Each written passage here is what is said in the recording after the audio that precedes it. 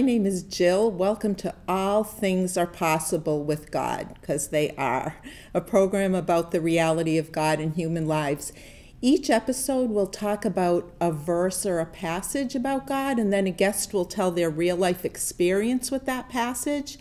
And today, my guest is my friend, uh, my dear and beautiful friend, Deborah Freeman King. Hi, Debbie. Oh, thanks, Jill. It's an honor to be here. I'm so glad you were willing to come, especially yeah. for my first one. Yeah. Um, today we're going to discuss Psalm 23, and then Debbie is going to tell us her real life experience with that psalm. Psalm 23 can be found in the Old Testament of the Bible, and it was written by King David. And before becoming a king, David worked as a shepherd out in the fields tending sheep, so he really understood the intense dedication of a shepherd to ensure the care and the protection, the safety of his sheep. And knowing all he knew about being a shepherd and how hard that is, he chose to refer to God in this psalm as his shepherd. Um, Psalm 23 tells us that God is always with us. Certainly, he's with us in situations related to death, which is one of people's greatest fears, the fear of death. And I think that's one of the reasons that this psalm has given thousands of people comfort over the centuries. Um, after the passing away of someone most beloved to me, I meditated on the verses of this psalm, and it really, they really took me in or drew me up to a place of um, peace where I felt really cared about by God.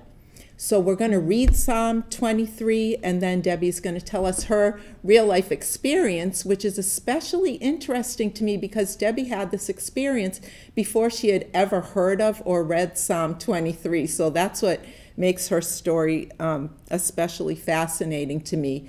So I'm going to read the psalm. Actually, first, I'm going to pray. Um, God, please give us eyes to see and ears to hear please open the eyes of our heart to see the truth in this passage. So now I'm going to read it. Um, Psalm 23 The Lord is my shepherd, I shall not want. He makes me lie down in green pastures. He, li- he leads me beside still waters. He restores my soul. He leads me in paths of righteousness for his name's sake.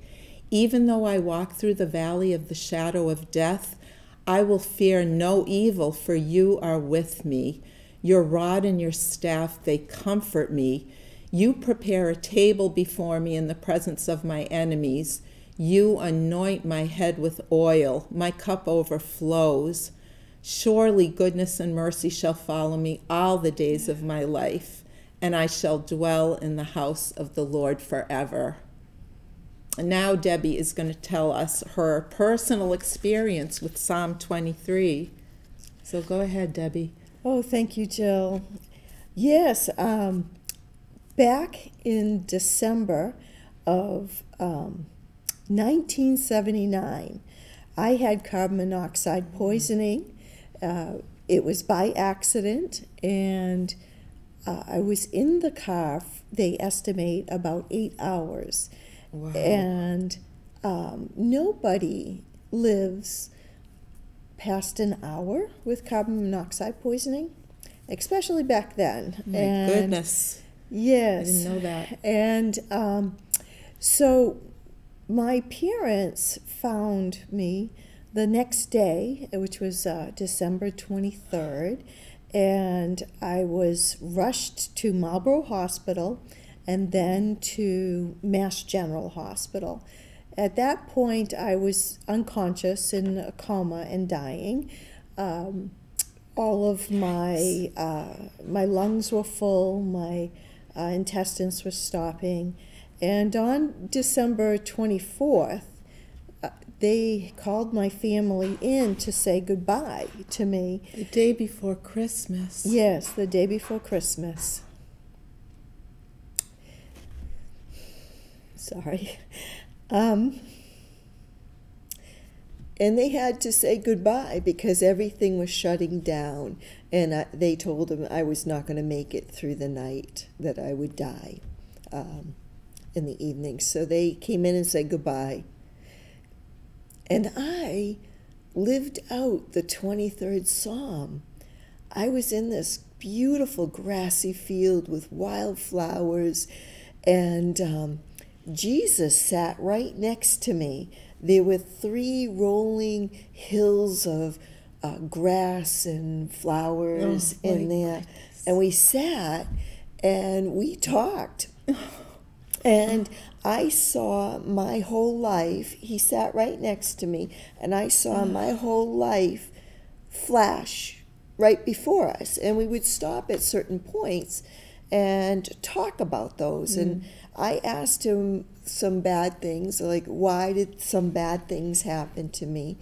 And he said to me, I allowed those to, to happen to draw you closer to me, but you ran the other way. And then um,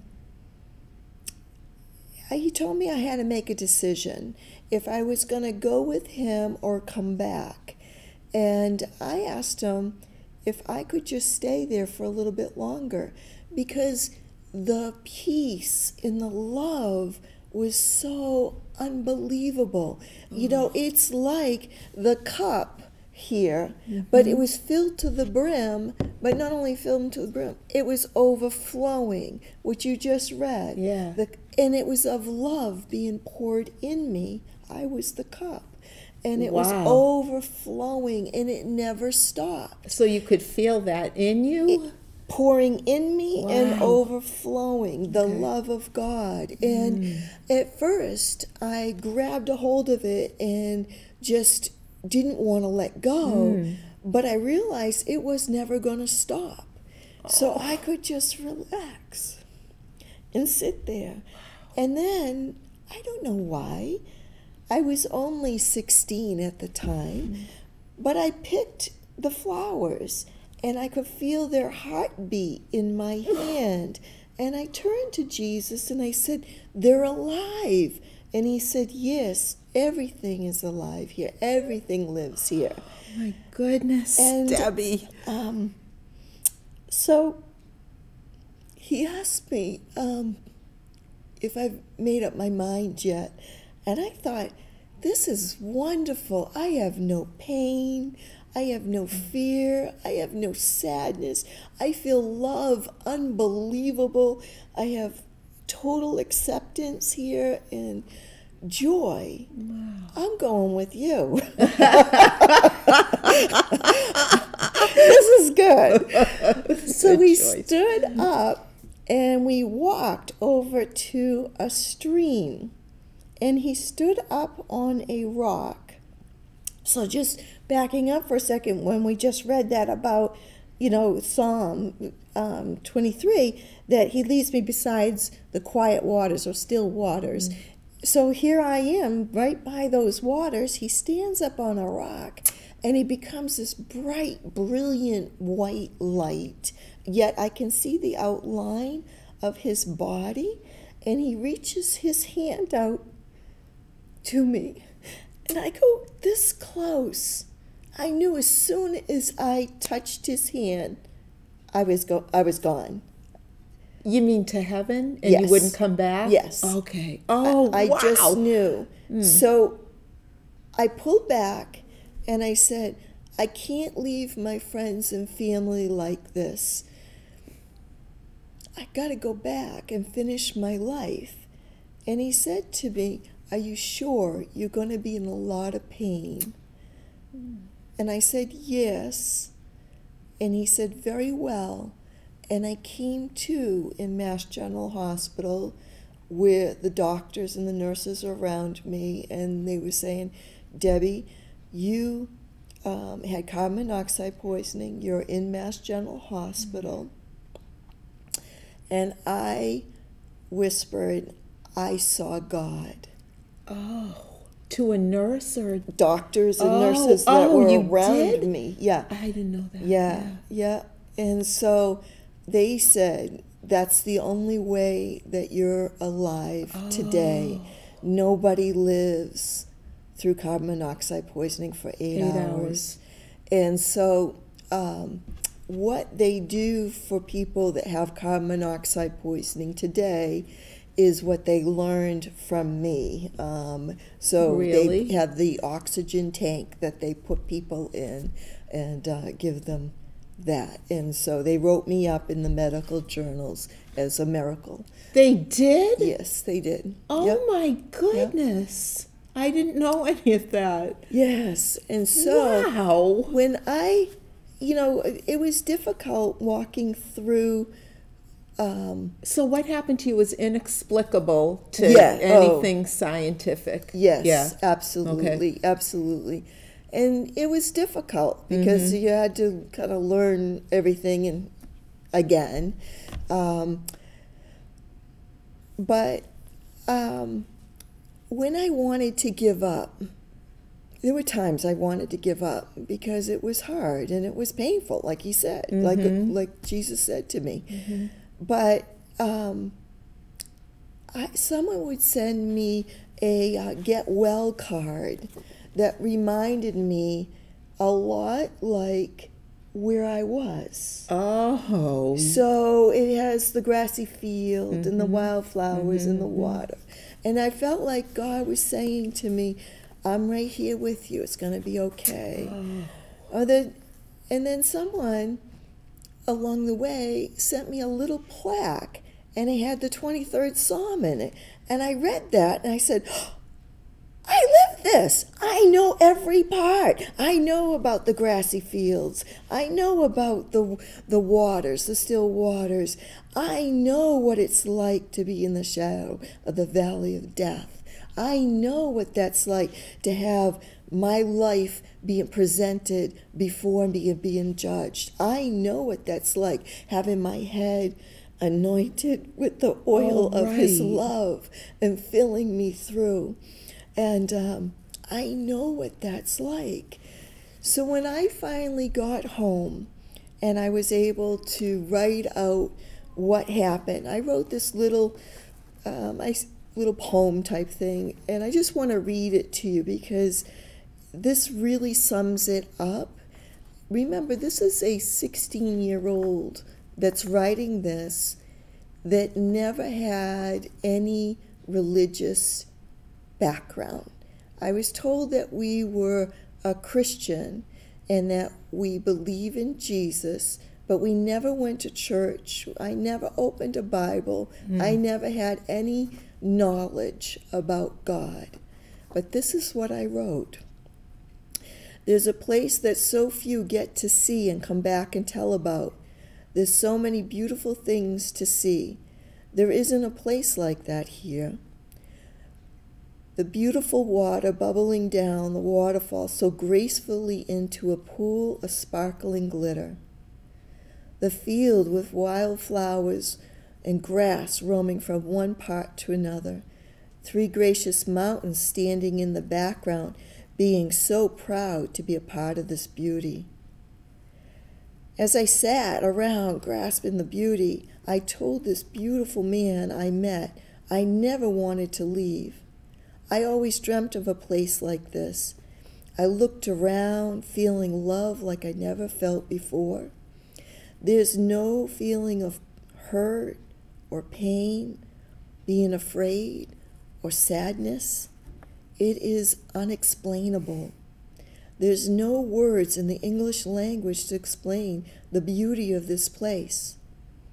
I had a long talk with a man with all types of qualities, gracefulness, and beauty. No matter how bad you are, if you honestly want to change and start all over again, he will be at your side. He will lead you through paths of righteousness. He will be your guiding light from heaven above. You will be reborn again. All you have to do is ask. How old were you when you when you had the experience and then wrote that? I was 16. I was And 16. had no religious upbringing, no spiritual no, background. no. That's amazing. And who did you think that person was that Jesus. you met?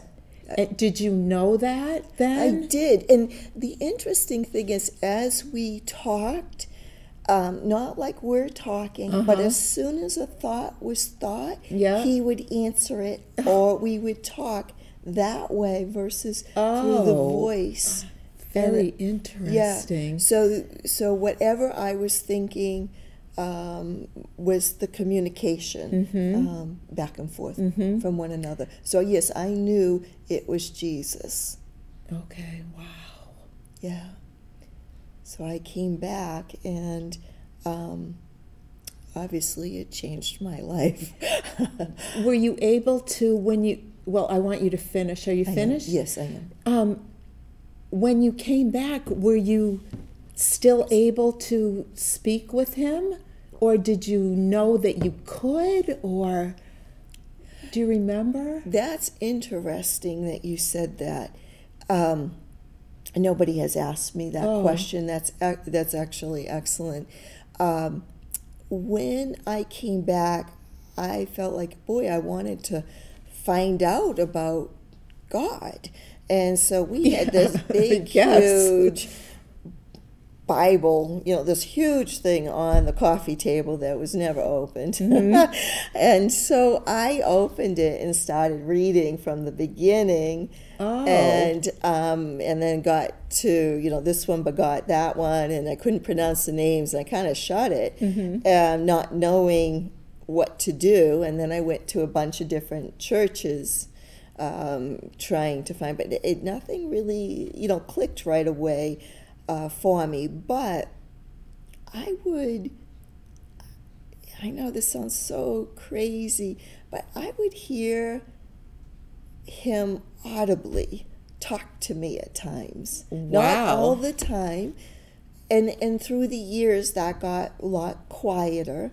I'll Um, take some of that. but it was he would um, you know talk to me about things or show me things that were about to happen you know i believe that when i was with jesus that he took me outside of time and i saw my past which is mm-hmm. what we went mm-hmm, through mm-hmm. my current situation at that time that i had to make a decision on Yep. I believe he showed me my future. I don't know what my future was, and still don't.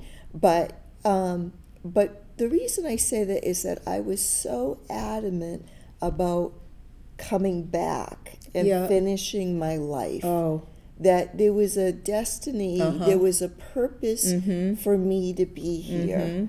And that's why um, I chose to come back, finish my life, regardless of the pain or the suffering that I would be going through. wow. It's amazing too that he gave you that choice because I would assume he he created the plan for your life to begin with, but then gave you the choice to come back and live it out or not. How how when you came back at such as a teenager, how was your perspective different about yourself, about other people, about your purpose, about death? Did you still have fear of death? You know, one of people's greatest fears. Any of the, any of those, I'd like to know. Yes. Um, so, fear of death, no. I do not have fear of death at all. Um, it's like That's great. It's like um, Because you you see what happens. Yeah, yeah. You go from one place to, Oh goodness. to a whole new place. And if anyone ever said, you know, I don't know what happens on the other side, Mm-hmm. I'm here to tell you there is something that happens on the other side. And the beauty of it, it's for all eternity. Yeah. So um, there is another side. There is a heaven as well as there's a hell. There is two different areas, Mm. but there is a hope, you know, that Mm-hmm. life um, of what the future of the Mm. life would be. Mm-hmm. And so I would say for me, um, f- um, relationships mean a lot Mm-hmm. to me. Family meant a lot. I know that they suffered immensely with Christmas Eve and Christmas Day, knowing their own oldest Mm. Oh, daughter died. Goodness. Uh, but came back to life, you know. So there was a rejoicing in that Yeah. as well. Um, so Jesus showed you your life up until that time. So I guess my question is as someone who hasn't had such an experience, how I don't know if you have an answer for this, but is there ways that we as human beings on the earth can prepare better for being there? Do you know what I mean? Like, are there ways to prepare in any way Oh, I think to for is. being there or for to prepare for interacting with Jesus or being close to God? Oh, absolutely. Um, and this is what I found out uh, as I've uh, navigated through life, you know, from 16 on, that uh, the Word of God is truly a living, And by the word God. of God, you mean the Bible. oh that okay the, The word of God. The heard actual yes Word of God. Okay. Uh, is living and it's active and it's uh, brings life. It restores my soul, which is part of this. You mean song the words in there? The Reading it? words in here are life.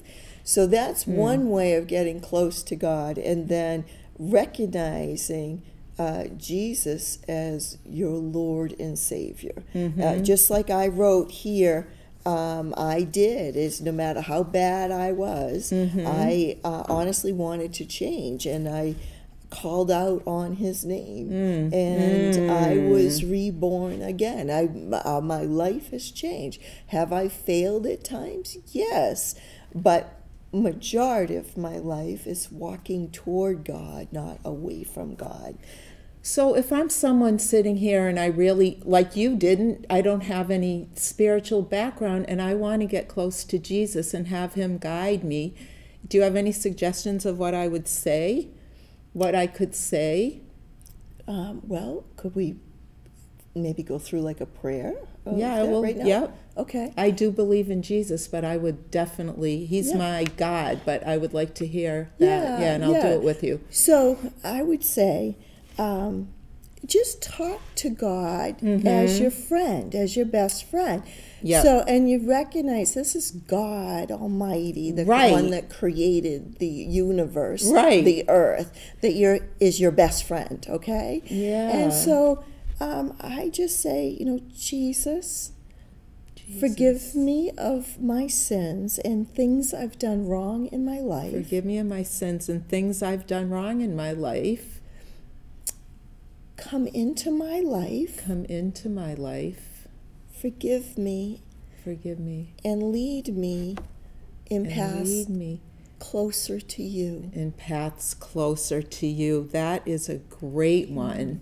Yeah. That's a that's just a great simple. one. Yeah, so We you can just to talk to him. You don't have to get this formal thou art No. because that just No. I don't want to call anybody that. Yeah, no. Just simple, yep. easy, your language, and he'll talk to you back in your language. Wow, I love that. What I really love is like for somebody that already believes, I like that you say you can pray for him to lead you in paths that bring you closer to him. Yes. You know? So if I'm about to go on some foolish, you know, look up some thing that isn't even going to matter later on, like some media thing, I can choose, I can ask him, is this what you want me to do right now? Yeah, Right? Yeah. Yeah. Yeah. Yeah, I'll I'll ask him to help me with everything, Eh, driving even. You know, protect me and protect those around me as we drive and get to one. our destiny and back. Um, I want I don't know if you have an answer to this, but I've got to ask. Did you see his face? Like do you know what he looks like? I can't help asking. Everybody asks me Yeah. that. That's so funny. So I'm going to say that when he sat next to me, he looked like the pictures of Jesus.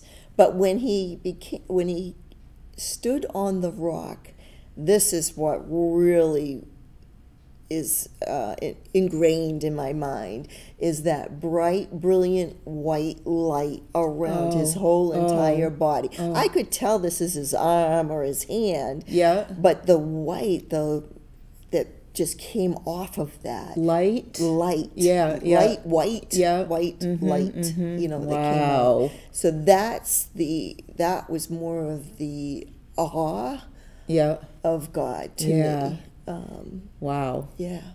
Did you look could you look did he look you know how you said talking was more the thoughts, was uh, looking eye to eye, or was that also something that wasn't as physical, the looking at?